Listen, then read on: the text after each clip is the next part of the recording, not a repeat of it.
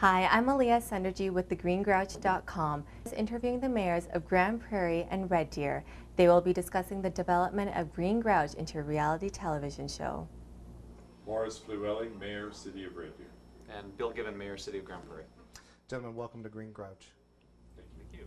The Green Grouch concept is being developed into a reality television show. Do you think this would encourage more people to participate?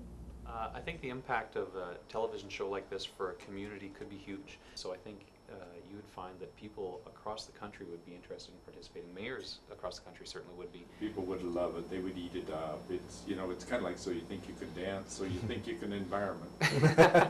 What, what could possibly be the downside to Green Grouch?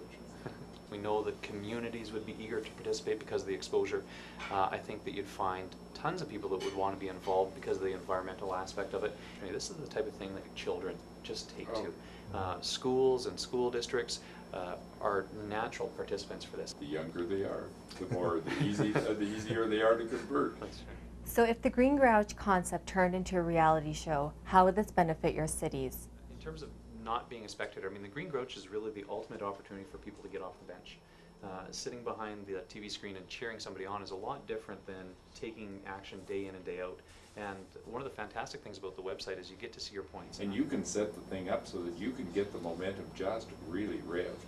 In, in terms of how this would affect civic pride, this is what, this is what feeds civic pride. It really takes something like the Green Grouch to uh, trigger people's thinking and remind them that they can have an impact on the environment. And, and, uh, and so anything that we can do to encourage people to make wise decisions that reduce the amount of resources that they consume, the amount of waste that they generate, actually has a positive bottom line impact for us.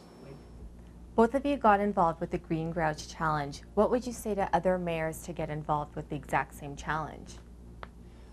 mayors like to be seen to be leaders.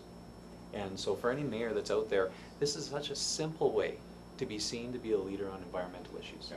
Uh, encouraging your community to take part, really, you sit down and do an interview, and you've encouraged your community to take part. And beyond that, beyond the sort of positive political repercussions and investment that you make, uh, you have a good benefit for the environment too. So really, it's a win-win. The, the whole idea of a, a selling point for Green Grouch to, uh, to the community is simply that it's easy to get involved, and it's kind of a game that you can play, and you can see how many points you can make. And I think it really goes with the zeitgeist of the times. People are looking for small, simple ways they can have a positive impact on the world, and that's really what Green Grouch is all about. So in terms of a television show, I think it would be, uh, I think it'd be a, a slam dunk. Spread the word, spread the word, spread the word. People would love it. They would eat.